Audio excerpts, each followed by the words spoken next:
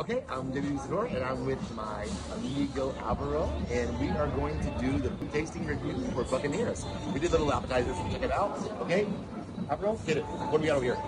Eh, Calamari. spiders, Okay, eh, arañitas. calamari. okay, okay, calamari. Tell me what you think. Little spiders. Give it to me, baby. Tell me the news.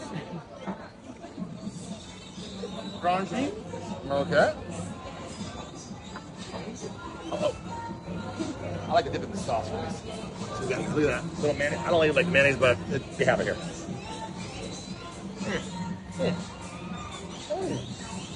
Oh, You need the soda crackers.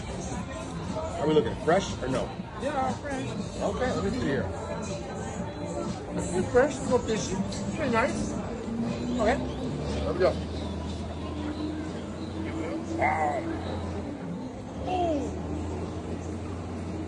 Oh. Oh. Really hot? Okay, we're hot. Come here. Okay, Maybe YouTuber.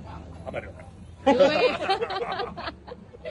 Honey, do it. it. You okay? Familia. Okay. Okay. I'm sure it's very nice. It's delicious and juicy, but it's very, very hot. I can tell by the face. So we're gonna give this a uh, 6.7.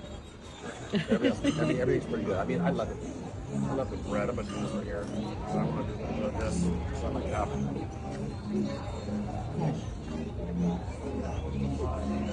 All right.